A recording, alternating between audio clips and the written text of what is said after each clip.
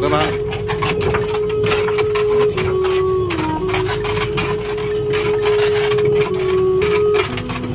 món này rất là xa xôi, cho nên là ông bà cũng phải nghiền những cái này để làm mềm bến ăn các bác nhé.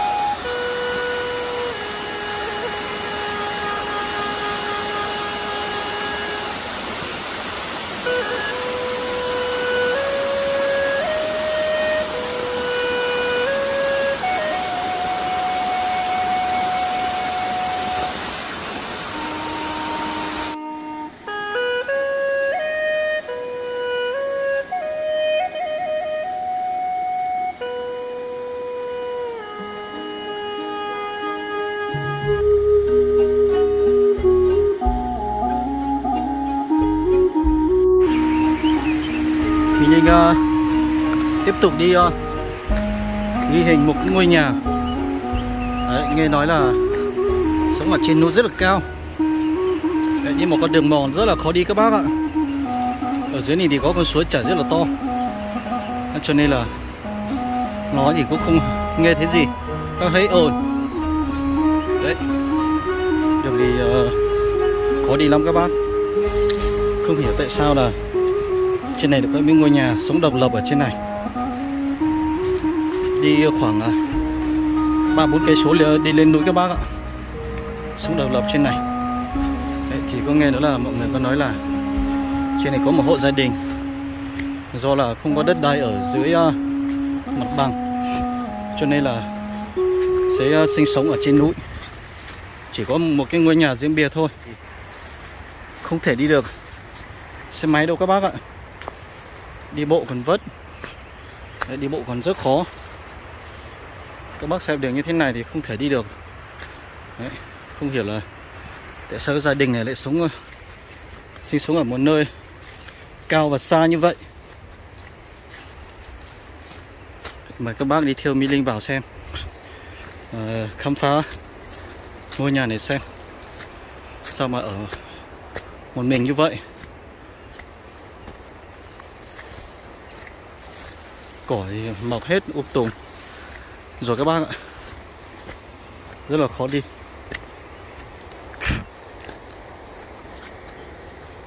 Đường rất là trơn. Cái chỗ này cỏ mọc rộng quá. Ôi ôi. Tí ngá các bác bảo đường như thế này thì không không biết nhắm ở đâu để đi à. Ôi rồi ôi. Trơn lắm các bác ạ. Đây, có mấy cây gai ở đây nữa bẻ nó đi đâu sợ chọc vào người lắm. Ôi, cứng lắm các bác, phải có con dao chặt mới được. Đi rất là vất vả, cả gian nan lắm các bác ạ. Đi thế này thì khi nào mới đến nhà đây? Ôi rồi ôi ôi, trượt lắm. Tí ngà dốc lắm các bác ạ. Ui ôi, phải bám một cây này. Cầm cây này xuống rồi đấy thằng nào để hai cái cây đấy là để mình uh, cầm để đi đi đi lên đi xuống. Giữ thôi các bác ạ. Ui ôi dốc như thế này thì đi kiểu gì nữa? Không biết đi rồi các bác ạ. Mưa thì đất này rất là trơn. Ui tí nó bay luôn. Trơn kinh khủng. Đấy. Trơn quá các bác ui ôi đường khó đi quá. Ngôi bên này thì chắc là nhà kia rồi các bác ạ đấy sống bằng với núi luôn này. Thăng bằng với núi đây rồi cao nhất rồi. Gọi là cái điểm cao nhất đây rồi. Đấy bên đường này chắc là của gia đình nhà đấy đấy. Đấy đi uh, cùng Mỹ Linh đi vào nhà gia đình đi hỏi thăm hay là khám phá các bác nhé Mỹ Linh thì đi cả buổi sáng đến đây rồi. Nhưng mà đường khó đi quá các bác. Ui chó sủa át quá. Đường rất là khó đi đây. Trơn lắm. Ui. Không hiểu tại sao ngôi nhà này ở trên này cao thế. Xung quanh không có nhà luôn các bác ạ. Đúng một ngôi nhà ở riêng biệt đây. Rất là bí ẩn. Ôi, mời các bác đi vào cùng mỹ linh để khám phá xem. Tại sao mà sống ở trên cao như vậy? Ôi chó dưới quá. Để tỏ tỏ po. Để tỏ tỏ mà buộc chó đi. Ai dồi đừng cắn nhá. Tao sợ lắm ấy. Nè chị quá chưa à, đang phơi mềm mén đây. Trước là ngon non nên là phải à, sát về để thôi nghiền về để phơi các bác ạ, không là ngô non này là sẽ bị mốc. Nhớ chép bò ừ? Nè, chị nô này quá chiều hả? Bà tay hay nặng các bác ạ. Đây là ui. Ờ còn nên một tia. Ờ. Nhớ chơi giờ? Ờ tiếp tục đi vào nhà ông đây. Ồ, ông cũng uh, làm một thịt cúng xong các bác ạ. Ồ ờ ni ô một xin một đấy giờ ồ đây là ông cũng là thịt cúng các bác ạ. Cho nên là rất là nhiều giấy à, với lại rất là nhiều giấy bạc rất là nhiều trợ sĩ đỏ này. Những cái uh, chỉ đỏ này là theo phong tục là cúng uh, cúng các bác. Theo uh, phong tục người mông là cũng phải cúng hóa ra là một thầy cúng ở một nơi rất là xa xôi rất là cao các bác. Chạy mua hàng tàu tuần này đi là sao xa tù à gia đình có 7 người các bác ạ cả con trai con gái. Qua tuổi một tôi nha tới lò một tuôn xài nữa à thế là nó sao tụi nhớ thì lúc trên đi à à thế là bảy người ở với uh, một ngôi nhà rất là nhỏ bé trời hầm này các bác ạ nói chung là rất là tối. Nia chắp bữa đó. À, đây là chỗ ngủ đây. Đây là chỗ ngủ. Đây, ông bà thì cũng đang uh, chuẩn bị để uh, nghiền uh, bột ngô ở đây. Đây nghiền bột ngô đây để phơi các bác ạ. Cũng không có ngô ăn nên là nên giỏ dế là giỏ dế nó là ờ. Đây, ông bà đang chuẩn bị để nghiền ngô các bác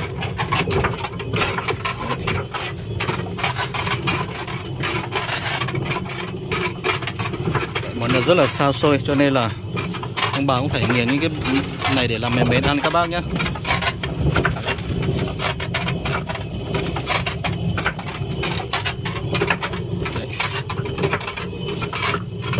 ngày xưa để gia đình mình cũng ờ, cũng làm như thế. Đấy. Bà thì cũng ờ, phơi được một ờ, gọi là một mâm, một mệt ở đây rồi. Gọi là cái này gọi là cái mệt các bác ạ. Đây gọi là cái mệt đây đây là lấy về để phơi đây. Để làm mày mới ăn các bác nhé. Đây này. Đấy. Bởi vì ở đây là không có điện không có máy nghiền nên là phải dùng bằng sức người. Đấy bà thì đang ông bà đang nghiền gần xong rồi. Đấy. Dùng đá cọ là cái cối cứ xay xay này. Đấy các bác. Đấy cho nên là cái cối xay này hàng rất là to.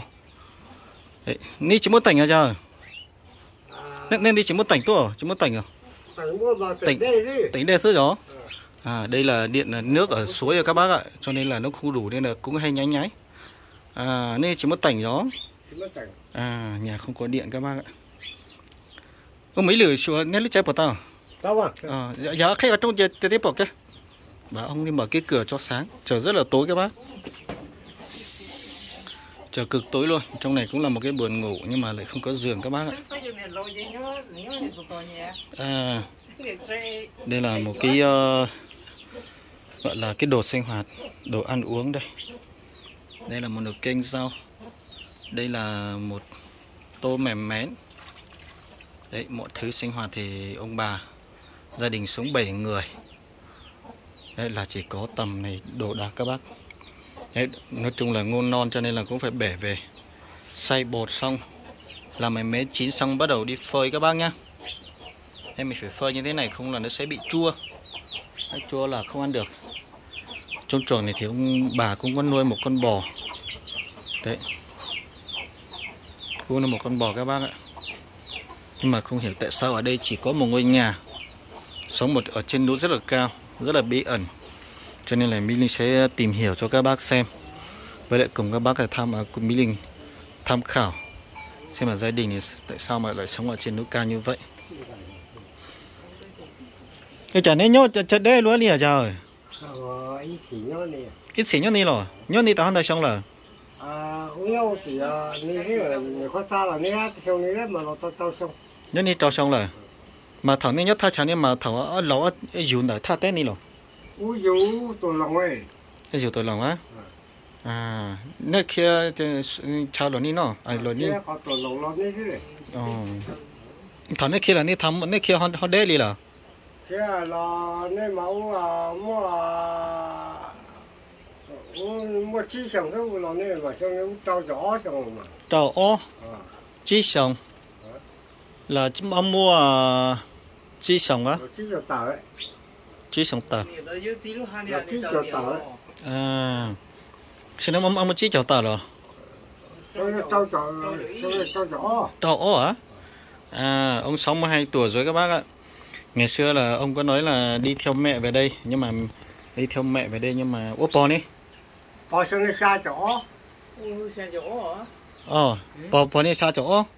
À bà 72 rồi à ô mà tao chậu tờ. Tao ô lô cầu sông. Lô Cầu sông. Cầu sông. Cầu sông à, Bà hơn à, ông à, 10 tuổi các bác. Đây là bà 72 Ông 62 Và bà hơn ông 10 tuổi. Thì ông có nói là ngày xưa thì ông có 5 tuổi Là mẹ ông đã rủ ông về À mẹ ông Với ông là về à, mẹ đi về đây lấy chồng. À thao à mẹ bỏ là gì ní cho tí rồi bỏ nó mà thao u vô rồi mà.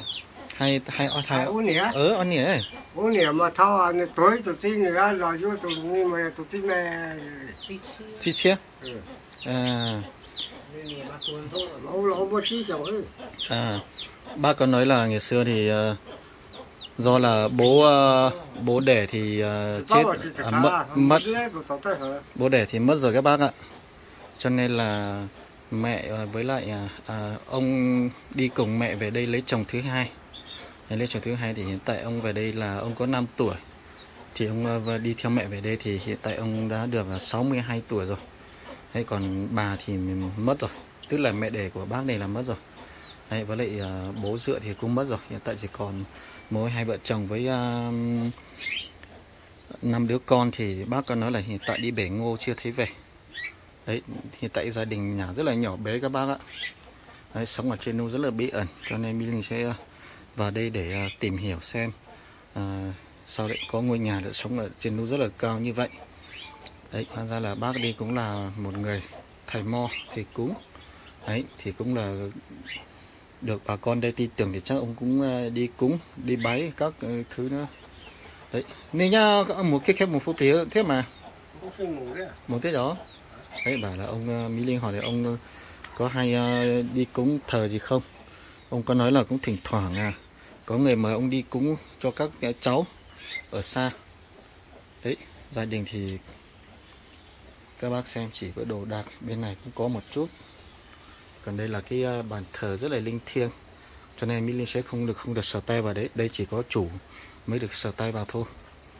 Đấy cho nên là rất là ảnh hưởng. Cho nên là Mỹ Linh sẽ không dám sờ.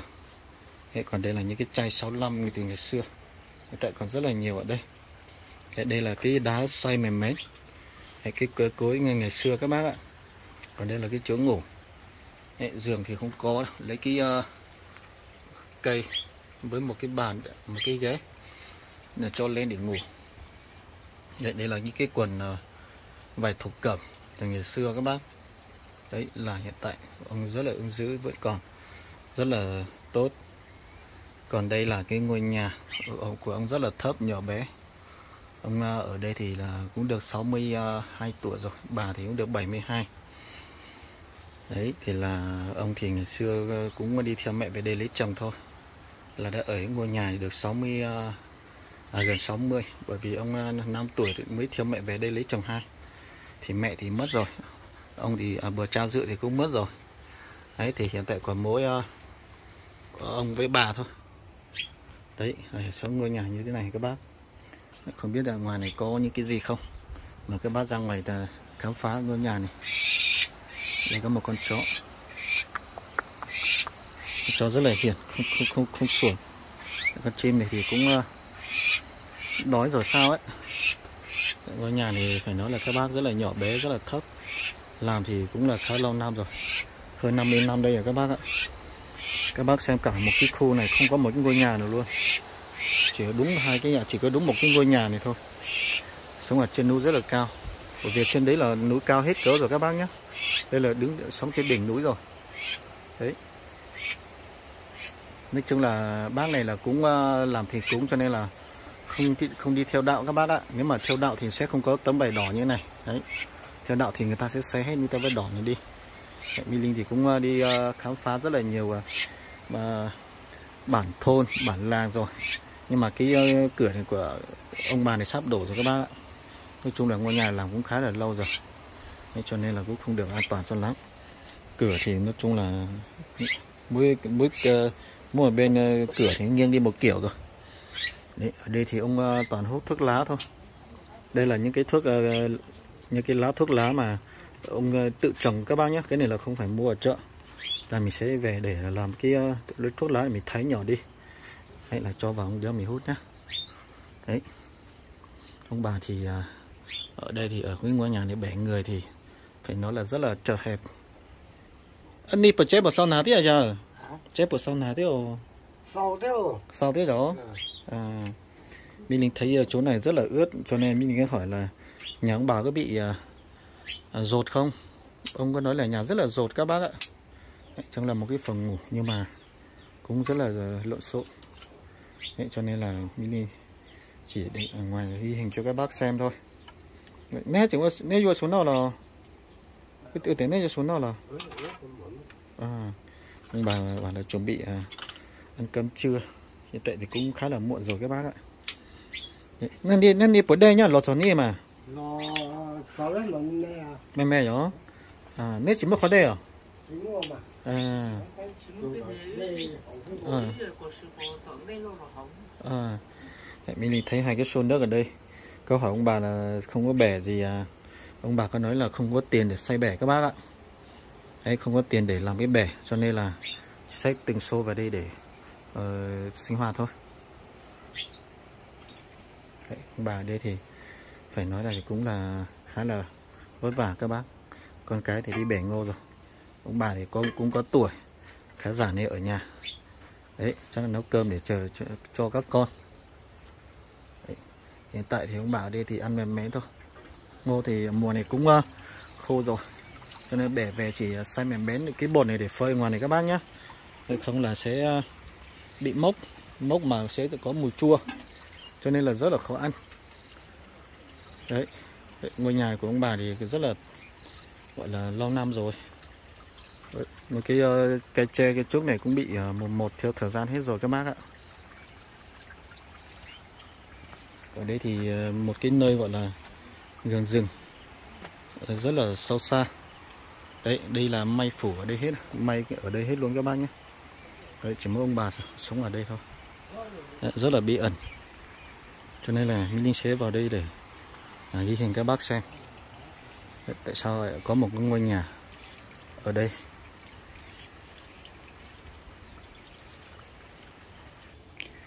Không thì đang uh, nhóm bếp. À, hào rau rồi chưa à, đang uh, gọi là đun để cho canh ờ, rau nóng lên để ăn ông bà ăn trưa. Ở đây thì vực rất là sâu các bác ạ. Ở dưới này là rất là sâu nhá.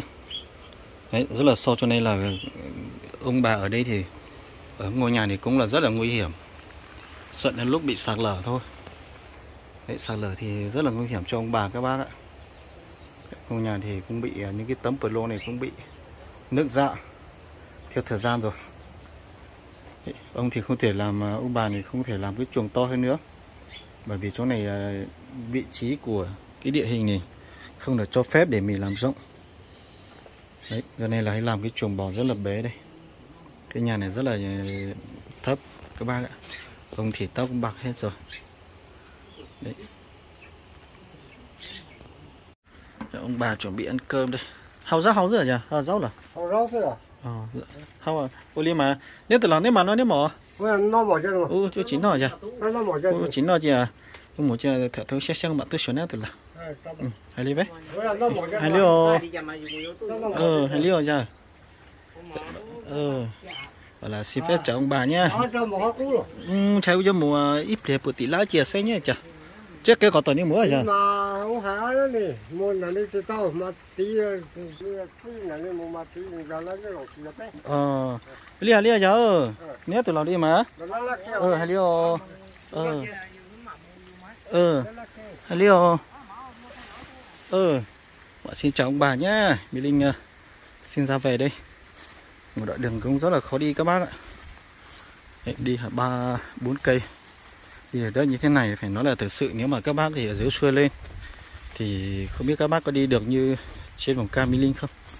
Đường thì rất là khó đi, cho nên là Mình sẽ xin tạm dừng và kết thúc video tại đây nhá.